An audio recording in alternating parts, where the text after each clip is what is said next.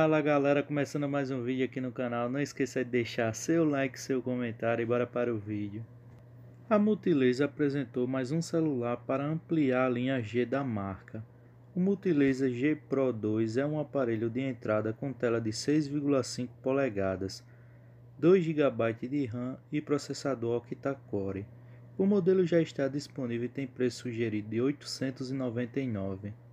O Multilaser G Pro 2 é semelhante a outros smartphones da marca, mas entrega bordas mais finas, quando comparado com o Multilaser G Max.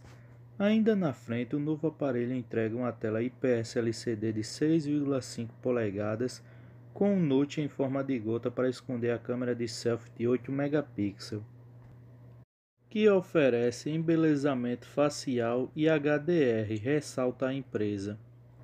O grande destaque do G Pro 2 são as três câmeras na traseira. A principal tem 13 megapixels de resolução. A ultrawide tem 5 megapixels com campo de visão de 114 graus e o conjunto fecha com um sensor de profundidade de 2 megapixels. O Multilaser G Pro 2 é um aparelho para tarefa básica. Ele tem processador octa-core cujo modelo não foi revelado. Ainda tem 2 GB de memória RAM e apenas 32 GB de armazenamento interno.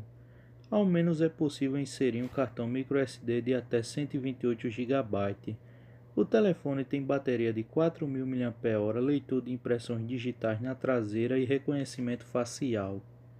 De acordo com Fabiano, gerente de telefonia da Multilaser, o G Pro 2 vem para inovar a categoria de smartphone de entrada juntando desempenho e autonomia a um valor acessível. Comparado à primeira geração do aparelho, temos evoluções muito importantes para o consumidor, entre elas o Android 10 e uma câmera elaborada com recursos tecnológicos. E este foi o vídeo de hoje, galera. Beleza? Falou!